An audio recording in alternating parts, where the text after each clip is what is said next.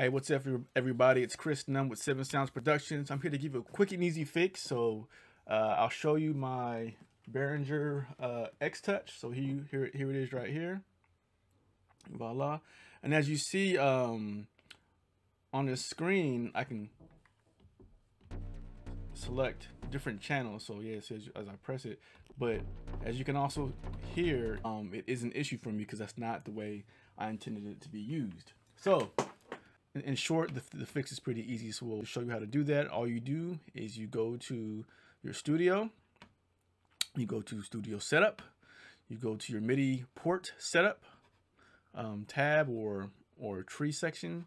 And then see, here's my X touch right here.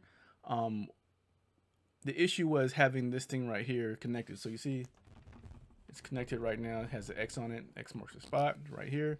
Uh, all in MIDI all. So every it's going to receive, you know, a MIDI in signal, uh, uh, you know, all MIDI, MIDI signals into the into into the DAW into Cubase. So just have to uncheck that. And once that's done, I'm pressing it. You can see me selecting on the screen up and down the channels, and it's no longer making those noises, but I can still do my faders, and it's not triggering the VST instruments uh, behind that. So easy fix. There we go.